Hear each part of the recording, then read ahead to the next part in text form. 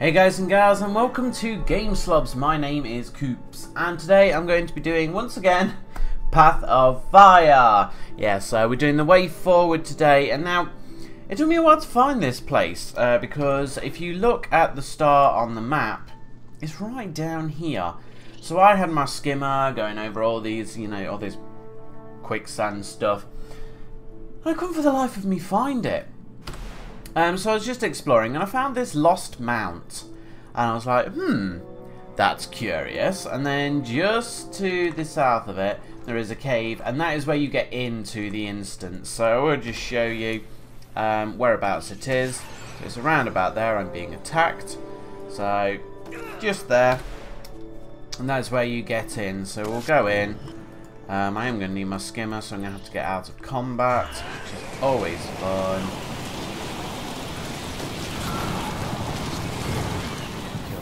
Twice. Okay. So yes, you will need your skimmer for this, which I'm sure you'll probably have. Um, I haven't leveled up my skimmer at all, because out of all the uh, out of all the mounts, it's probably my least favourite. Um, okay, so there's this hole here where you need to fall into, and this starts the instance. So let's let's make our way forward. Oh, glide so I don't die. Hello? This place is pretty. What's that? Hello? Power cell. Found a glowing crystal. And a dead body. Pick it up. The crystal, not the body. If it's glowing, it may be a power source. There should be a control panel nearby.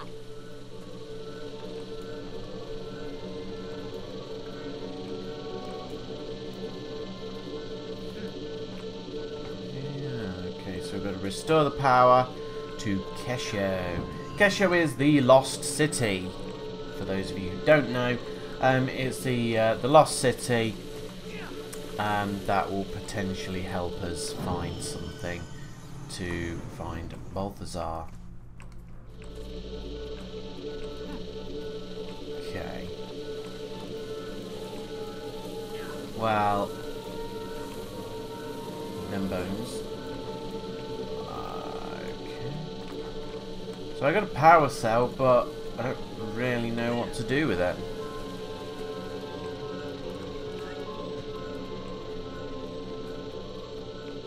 Um. Oh! Exalted. Something about this exalted. It's moving. So it's alive. But it's not responding to my presence. Not responding?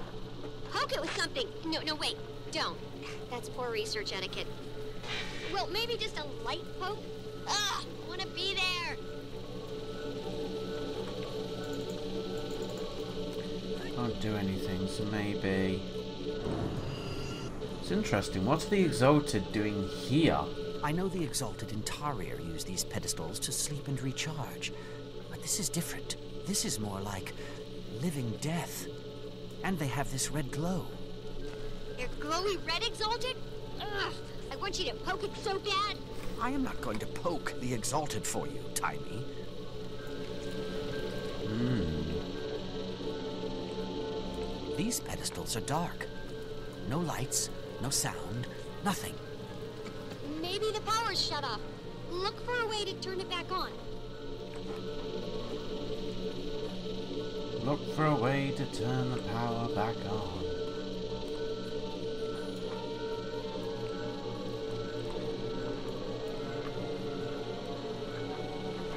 Found the power cords. Hello. What's up there? Oh, but if I do that, will I lose my power cord? Probably. Uh,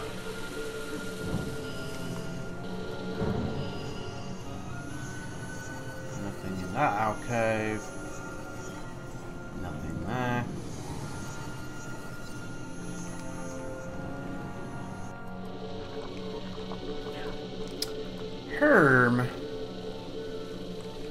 So for those of you who have actually done this instance, who are now standing there screaming at me, telling me which way I need to go. Ah, thank you. Um,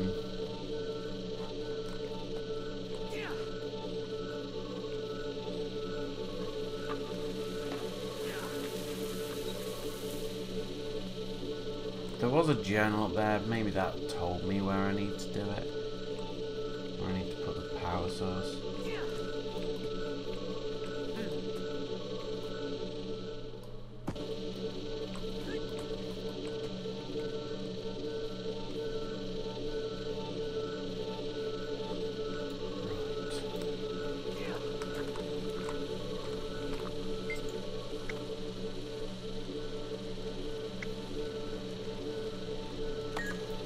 Okay, well that's just fantastic.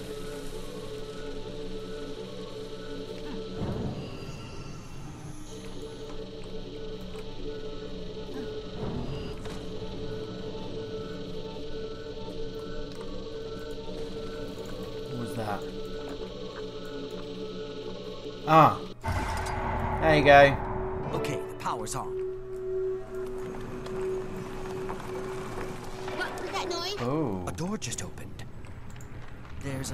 Exalted inside. Not red like the others. That is pretty. Looks dormant. But maybe I can wake it. No! Did Balthazar send you a Joko?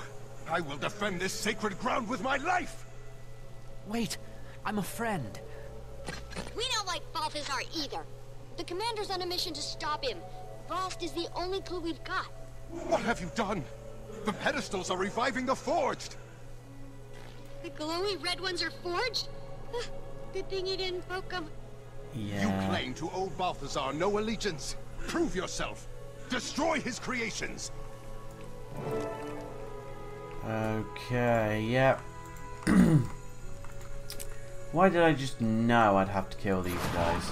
What is that? Waking up.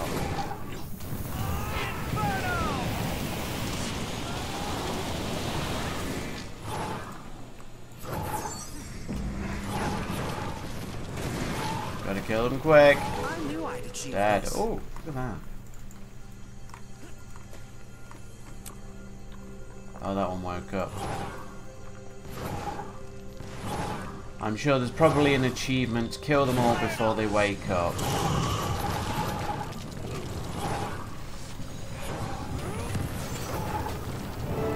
Bang, dead. Balthazar's the reason I'm here. He's working to kill Kralkatorrik, and we're trying to stop him. I wish you'd come sooner. Balthazar was here recently with that wretched lich Joko. Oh, nice. Apparently, I'm the chosen champion and protector of Glint's second scion, Aurene. If you've been entrusted with the role of the Scion's protector, then it would be my honor to assist you. I am Sadizi. Welcome to Kesho. What you see is what's left of the Forgotten's first attempt to pacify the Elder Dragons. It failed. This site was abandoned, but a few of us remained as its caretakers. Why were Balthazar and Joko here? They came seeking the forgotten magics that imbue battle armor with living spirits. The same that created the Exalted. They quickly discovered they could use those magics to create these... abominations. The horrors they call Forged. The Red hmm. Exalted you fought were the results of their early experiments on us. Left behind as mindless sentries. In the chaos, I sealed myself in that chamber to avoid the fate of the others. That was smart. Now you can help us make sure Balthazar doesn't succeed. Balthazar thought he destroyed the information you seek, but the sentries he left behind were actually protecting it. What do you mean? The pedestals! Your invisible friend is correct. I can reveal the secrets contained in any pedestal you choose.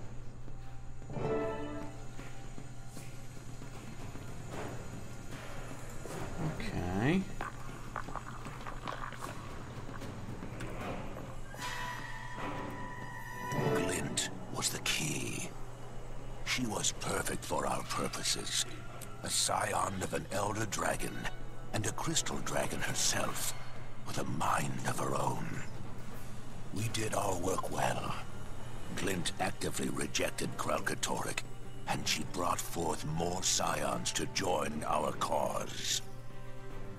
That was Jasso Escher, one of the Legacy's main architects. Sadly, he was lost in the attempt to convert Kralkatorrik.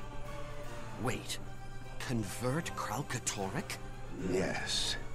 The Forgotten dared to try. But the hunger of Elder Dragons is too strong. It proved a tragic failure. More of your questions can be answered by consulting the other pedestals. Now that would be interesting, wouldn't it? If we actually found a way to convert all of the Elder Dragons to like make them sort of glintish so they're all good. That would be so epic. The most important lesson an Exalted must learn is, though Elder Dragons are unimaginably powerful, they can be killed. Each has a distinct flaw. Mordremoth, for example, dominates thought. But its most powerful asset, its mind, is also its greatest liability. Kralkatorrik's unique strength, its power to crystallize objects, is also its singular weakness. Its creations share a fundamental resonance that connects them back to the Crystal Dragon and makes them vulnerable to each other. A fundamental resonance that makes them vulnerable. Whoa, so that's why Balthazar was after Vlast. He needed a scion of Glint to kill Kralkatorrik. But Vlast's gone now, so that means... Wait, there's one thing I don't understand. If Glint and the Forgotten knew what killing an Elder Dragon would do to Tyria, why would they rear Blast and Aurene? The answer is locked behind that door. If you're done with the pedestals, we can proceed.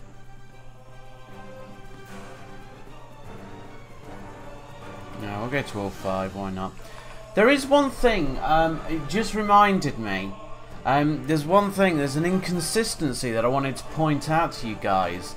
Um, so, on the Ring of Fire, uh, you, you notice the Destroyers have got the powers of Zhaitan and Mordremoth. So it's kind of undead destroyers and, and that. Now, I haven't been to all of the areas yet, so I may be wrong here and I may just be, you know, just, like, yeah, just carry on going, Coops, and you'll, you'll see. But, none of, th that I've seen so far, none of the branded have got any of their powers which is a bit inconsistent. It's like, well, I thought the powers then were then like absorbed by all the other Elder Dragons. So what? Why? Why hasn't Kralkatorrik's minions got the other powers? Just thought, but we'll see later.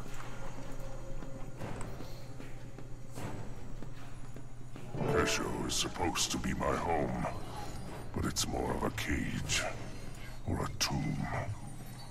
I prefer the open sky.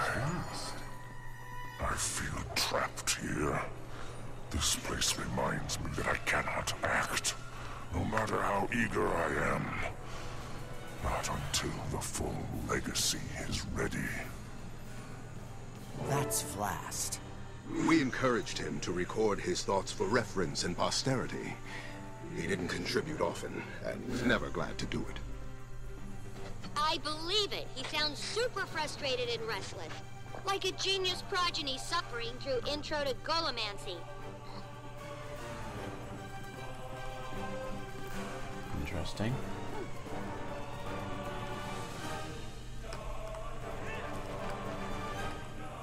Course, Vlast was born here, so it makes sense that he was raised here.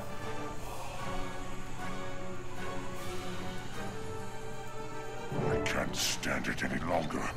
The constant talk of duty and destiny, the forced reverence. It disgusts me, enrages me. My exalted attendants are durable, but still mortal, insignificant. They quake with fear at the slightest angry hiss. I have a job to do, and the power to do it. They can't help me. Why do they pretend they can? Sadly, Vlast matured in isolation. We didn't know how to socialize him properly until it was too late. By the time we realized Vlast needed to bond with mortal races as Glint had, he no longer could, nor cared to. Hmm. Let's hope that doesn't happen to Aurene. Speaking of, I really should go and visit Aurene. You keep getting these updates about, you know, how Aurene's being, and I'd, I'd actually like to go back to, um, you know, you get that item, so you can just double click it and go straight to Aurene. I'd like to do that and just see what's happening, what's occurring, whether it's just like takes you back into that instance and nothing's actually happening, or whether Aurene is literally, as as we've been told by Taimi, going a little bit apeshit. Z and the others tell me I must wait.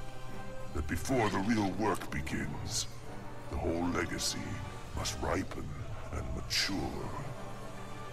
I am ready now.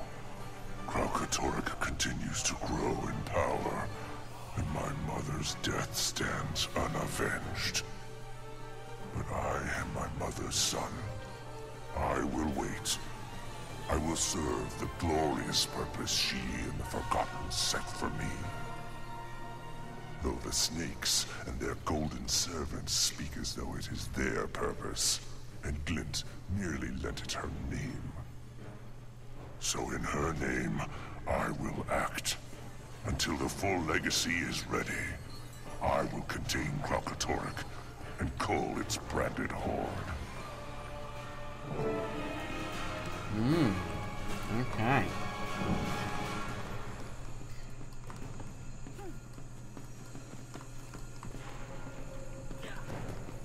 Go further. So apparently uh, Balthazar and Joko were here, so that's not good. Maybe we'll meet Joko. Intruder! Oh, okay.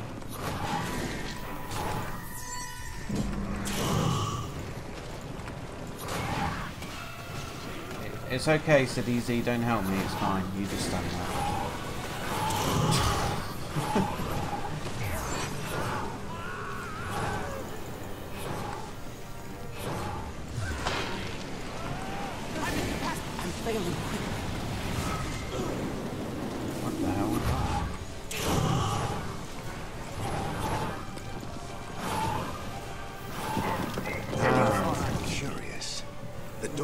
responding. It must have been damaged during Joko and Balthazar's attack. What's This? You're in luck because the commander is good at smashing things.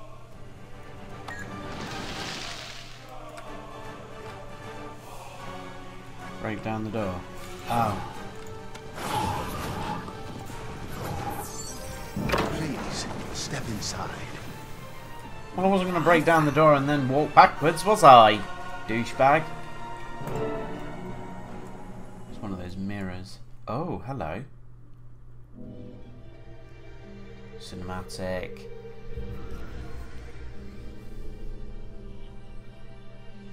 The millennia-long Elder Dragon cycle is one of feast and famine.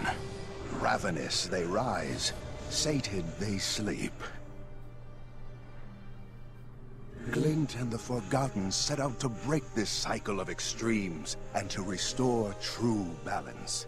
But when two Elder Dragons were unexpectedly eliminated from the cycle at one time, we believe it created a void. A void that caused the system to break down and the collapse to begin.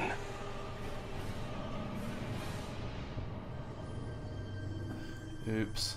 The hope was that Glint's legacy would stabilize the cycle. We theorize these vacancies must be filled with entities that circulate and share magic rather than hoard it.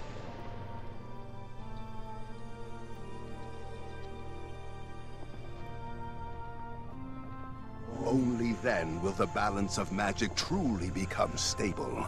Only then will Glint's legacy achieve its ultimate purpose.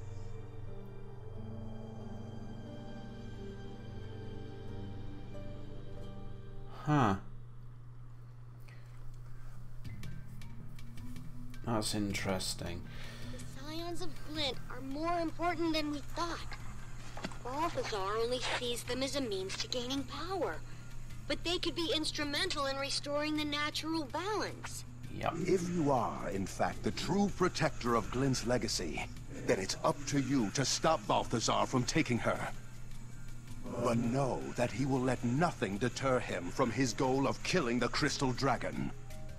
Taimi, get a message to Rytlock, Canach, and Kasmeer. There's a spire south of the skimmer camp, tall enough for Kiel's airship to moor. Tell them to meet me there. Commander, you must leave, now. I can feel the Forged approaching. If you are able to find Kesho, then I failed to adequately conceal the entrance. I must close the entrance forever. This portal will allow you to return safely to the surface. But what about you? I will keep my pledge to protect this sacred place with my life. I am at peace. Farewell, Commander.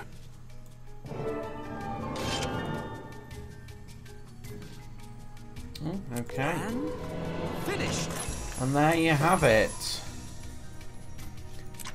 So, that that's interesting. So basically, Glint's legacy, as it were, is basically to restore balance. Um, maybe Glint foresaw this happening, that we were going to come along and um, basically kill two Elder Dragons, which has basically torn the natural balance of Tyria and magic apart.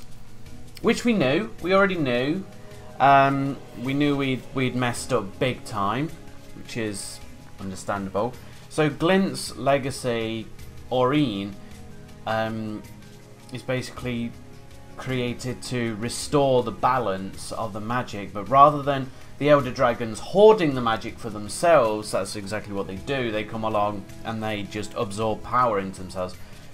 What the, they're trying to do is get the dragons to share the magic to restore the balance, which would be very interesting. I think the only way we can do that is to do what Sadizi or Josso, is it Josso? I'm pretty sure it was Josso, said is to basically convert the Elder Dragons from being these seemingly evil creatures into nice creatures. Um, it'd be interesting to see whether we can actually do that.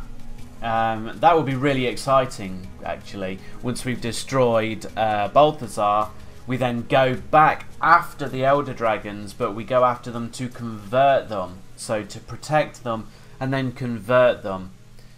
Uh, that would be ever so epic. Um, in the grand scheme of things, what that would do is, say for example, we went and we found, um, well, we know Primordus and let's just say Primordus. We know, I know they've gone back to sleep and everything, Primordus and Jormag, but say we go and find Primordus and we convert him into a good dragon, he starts sharing his powers. Does that then mean that Jormag would then get the power of fire? Because then that's quite dangerous.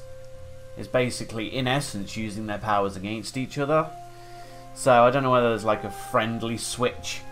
Like, I don't know.